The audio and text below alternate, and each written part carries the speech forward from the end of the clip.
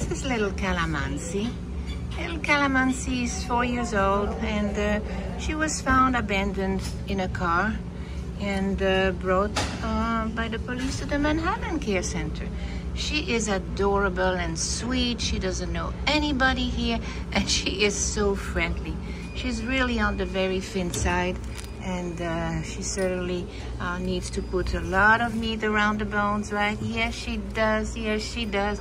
But she has a great appetite. Her body knows that she has to catch up and uh, in a good home, in a safe home and loving home, well, she'll she'll gain back her back, her, her weight and uh, uh, she's really very, very, very, very sweet. Oh my gosh, they're so noisy.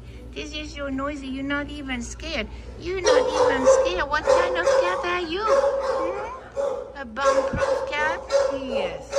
Lovely, lovely, lovely girl. Calamansi, Manhattan Care Center.